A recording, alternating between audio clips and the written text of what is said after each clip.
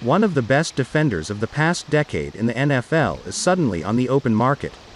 The Houston Texans have granted defensive lineman J.J. Watt's outright release from the team this morning, meaning the future first ballot Hall of Fame defender is on the open market and free to sign with any team of his choosing at any point. The Miami Dolphins need to place a phone call. Yes, the Dolphins are a team dialed in on a youth movement and keeping a young nucleus of players ready to compete for a long time.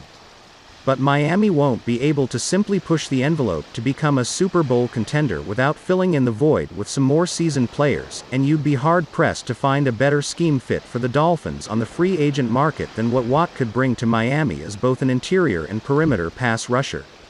No, Watt isn't in the prime of his career anymore. He'll be 32 years old in March.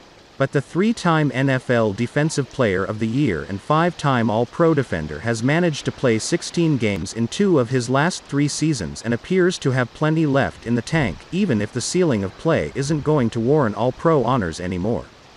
The Dolphins are a few pieces away on the defensive side of the football from having the right mix of talent to catapult from an upper-tier defense, which they were in 2020, to an elite one.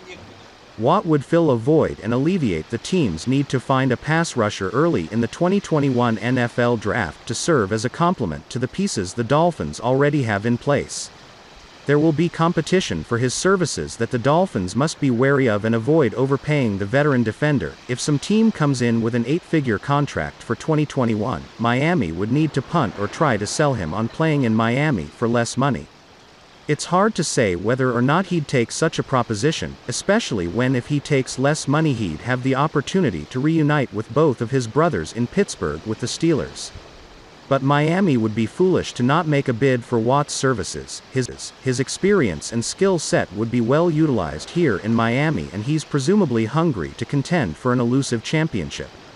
Ironically enough, so are the Dolphins.